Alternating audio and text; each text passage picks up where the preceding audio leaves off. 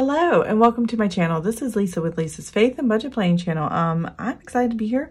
I'm excited to get into my sinking funds, savings tracker, and uh, a little bit into the credit card log.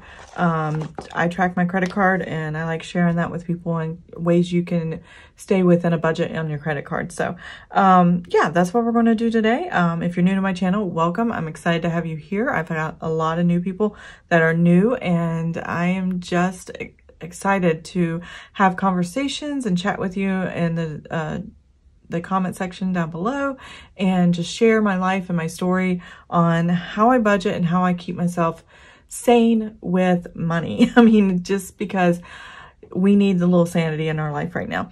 Um, and if you have been coming to my channel regularly and you are already subscribed, thank you for coming back and watching my videos. I am excited to have you here too.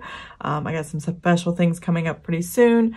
Um, I just heard that November 11th is Erin Condren's um, winter surprise box purchase day. And hopefully I can get two boxes. And what I did last time is I gave away a box. And uh, if I can get two boxes this time I will give away another box. And then I'm going to have um, a Thanksgiving giveaway as well. Uh, the winter surprise box probably won't be here until early December but I do plan to get, do a giveaway in November. So for Thanksgiving and so look out for a video on that. This is the first time I'm announcing it here in the sinking funds video. So um yeah that's what we're doing. Um so let's go ahead and get started. I'm going to pop these pages out and we're going to get a closer look of the budget and um let's get started. Okay, I am back. So here are my sinking funds. I've already written everything out as far as the categories and we're going to put our new beginning balances which are the ending balances that happen in October.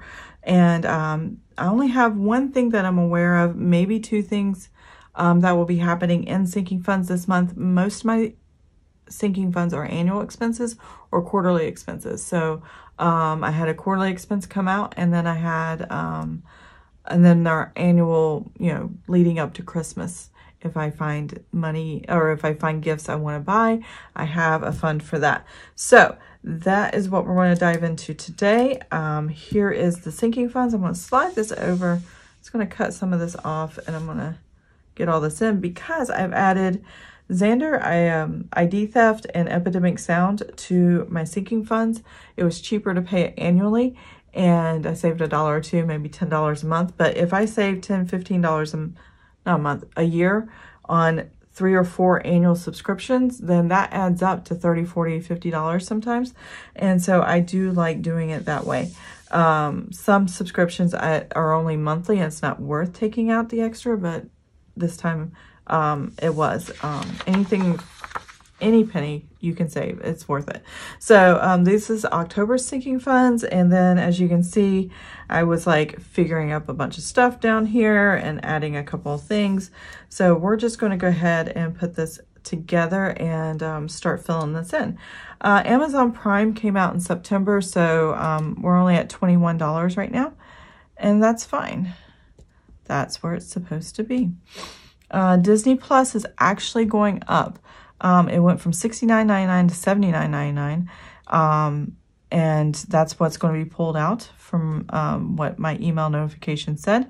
But right now I have 64.13 and I should be able to pay out of pocket the rest. So I'm not too worried about that. Apple subscription is also 64.13. I kind of got these about the same time. This comes out in November. This comes out in December. Um, so I just kind of fund them the same time and then when they come out, they come out. Orkin termite spray. I'm actually going to have to use this. Um, this is going to be uh, $221.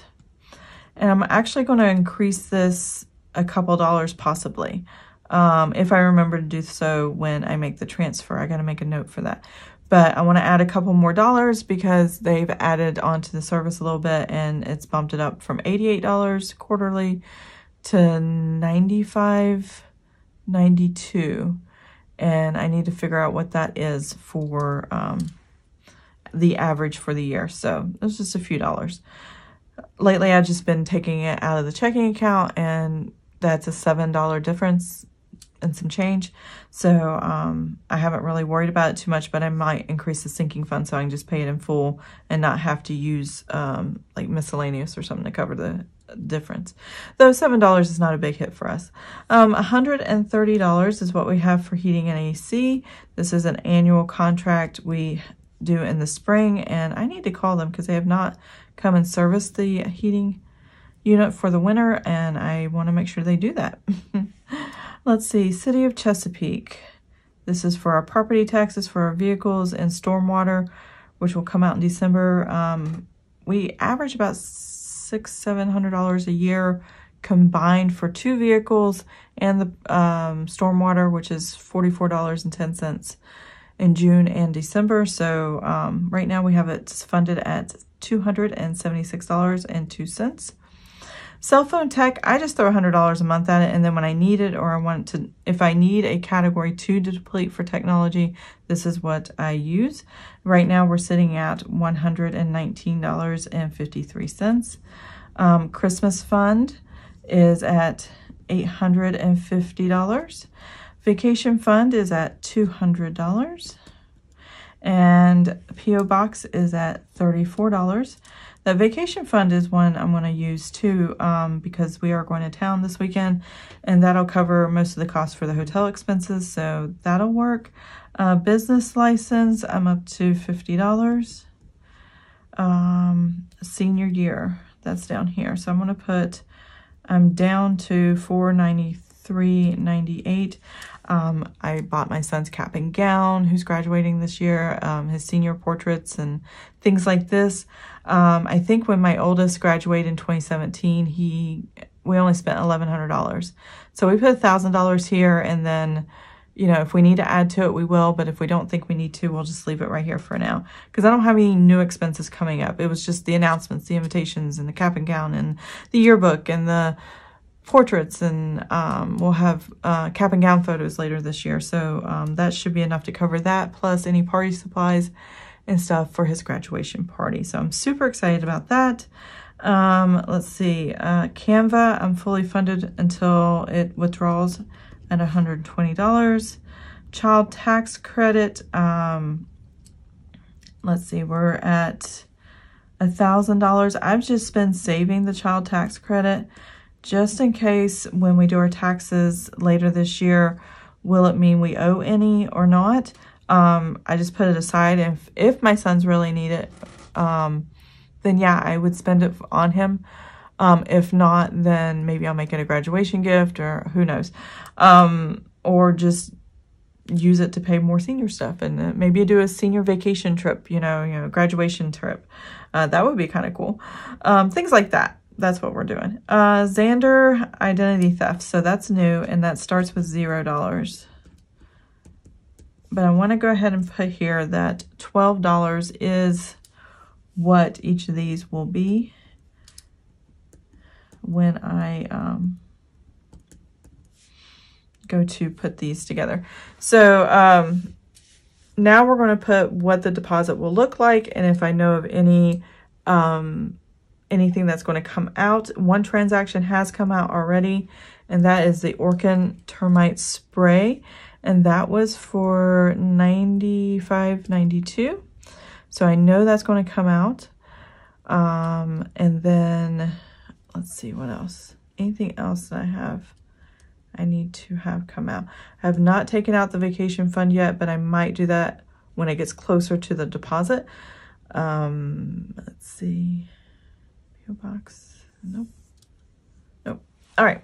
So now I'm ready to do what we normally put in as a deposit for the sinking funds. Now my sinking funds are all in one savings account and I only transfer money into it um, at the end of the month with the last paycheck of the month. Now, if I need some of that money, just like this uh, $95.92, oops, you can't even see that. I'm very sorry. This $92.95, once this is um, I go to make this deposit, because for right now, I can kind of float this out of our budget um, in our everyday checking right now, I will reduce what I plan to deposit in here in the sinking fund savings account by this amount. And I will also um, take out whatever this is. So I may not put a large deposit in, but since these cash um, amounts were already in the savings account, I'll just reduce these categories and then it replenishes the rest of the categories and balances out in the end. Um, I don't know if it's an abstract way of thinking about it or seeing it, but that's just kind of how I work. So I don't have to transfer a lot of funds every month. So that's how I do it. Oh, I do need my, um, I thought I was done with my other sheet, but I do need this to know how much I'm putting in the deposit. So on every month I put in, uh, there we go, $10 for Amazon Prime. Um, I'm changing this to 667 for uh, Disney Plus because that will be the difference of uh, 79.99 divided by 12 and round it up just a little bit. Um, let's see, Apple subscription will stay the same, 583.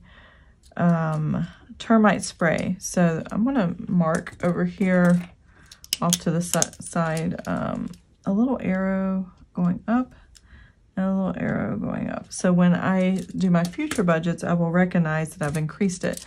So I'm going to increase this to $57 just a couple dollars more a month to cover those little extra transaction there that I didn't originally have with my contract. So uh, heating and AC, I do $20. City of Chesapeake, I do 57 and then cell phone tech, I always throw $100 in there. It's one of those flexible ones that if I don't see tech needed in the future and I need the cash from somewhere, that's the first place I hit um, because tech is the last thing we'll worry about. Um, so Christmas fund, I'm going to add $50. And I add $50 every month, but right now it's built up. I added extra money in addition to the $50 I normally do. Uh, 350 is what I put in there um, because my dad had given us a check for the holidays to spend and my oldest son was born on Christmas Eve, so he gets birthday money and Christmas money, and that's what I had to sort out as far as where the money was going. So, vacation fund. Um, we are putting $50 in there. And then P.O. Box, we're putting $17 in there. And then business license is $10. Uh, child tax credit has been 250 oops, writing my numbers backwards again. $250. And then um, these are the new ones. I went ahead and put that down. And then I'm not adding to the senior year and I'm not adding to Canva because I don't need to and then dividends. So the beginning, oh, I forgot to write the beginning dividends. So the ending dividends for last month were $5.34. Now this is just the pennies they throw in the um, account when you have a savings account that earns a, itty bitty teeny tiny interest. And this is what's built up so far. I'm like, really? And that's it?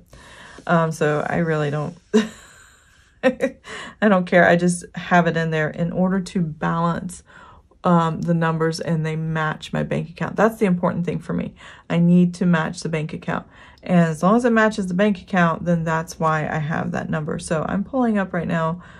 Hopefully it'll come up. Pulling up my spreadsheet that does all this math for me. and I'm going to go ahead. We'll total this up together, but I'm also going to pull up where um, I have the dividends for November um, for these accounts and that way I don't have to go into the bank. So I have 68 cents. Oops. Well, that's wishful thinking. $6. Here we go. 68 cents. And that's what we got in dividends. And then, um, and that is what I have there. So we're going to total. I'm just going to make the total the sheet's getting longer, so I'm to use the total thing down here at the bottom. Um, and we'll just add it all up like I do on my other sheets. And make sure I'm not missing anything. Aha. Though I wrote on here, I did not put in my spreadsheet. these two new items. So I now that I know that, I will definitely get that done. So let's go ahead and total these two columns up and we will see exactly how much um, my beginning balance is. And we're going to see um, how much I'll be adding to the account. Um, and once all the numbers um, of what I add, what I subtract, and the ending, I'll do that later at the end of the month. So let's see here. I'll be right back.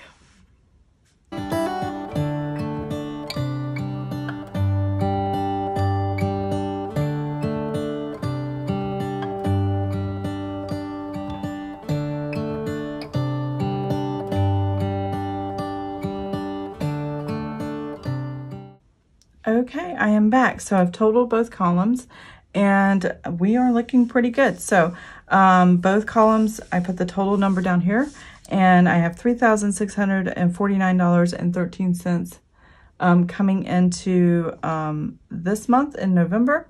And then I have um, $658.18 um, for the deposit minus um, this 95.92 and then I probably will also leave out um, $250 from vacation um, because the hotel room was just over $350 or something like that. So whatever um, I can get for the hotel room out of this um, vacation fund and then we'll pay out of pocket the budget for the rest under miscellaneous. So that'll cover that. And actually that is actually on the credit card. I I book it on the credit card, but then um, I will pay my credit card with this savings account. So that'll be taken care of later. And um, yeah, so that's what I have right there. This is um, pretty good start to my sinking funds. And I'm to go ahead and move on to the uh, savings account for my emergency fund. So my savings tracker. So last month in October, I put a significant amount of savings in because my husband had overtime money and a majority of that went in here and I reduced his uh, saving travel expense and all that stuff. So this is what we have in the savings account for, uh, which is a different savings account compared to my um, sinking funds. This one's attached to the bills um, um, that come out, the checking account where the bills come out. And so it's a savings checking account that my husband and I started together mm, 25 years ago. And we've had it forever. Um, and so th that's that account. And then I have a personal account that's just for me, checking and savings. And that's where I keep my sinking funds. And then I do my Etsy business and everything else through my checking account, which is totally separate. I don't show any of those numbers. So savings tracker, this is what October looked like. There's 2000 in the home improvement that I added. And yeah, October was a hot mess as far as writing goes. so I did put the categories down. I did include a home improvement saving there. Um, we need a few rooms painted and we need um, to call a contractor for our window. And I keep talking about it and we keep forgetting to do it, but we'll get to it eventually. So um, the ending balances are our beginning balances. So that is what we have here. $13,125, which is our emergency fund. Not quite three months, but it's getting really, really close. Um, travel expense savings, we save $800 um, in, a, in the savings account when my husband needs to pull cash out for meals um, when he travels. And so he's down to $356 right now.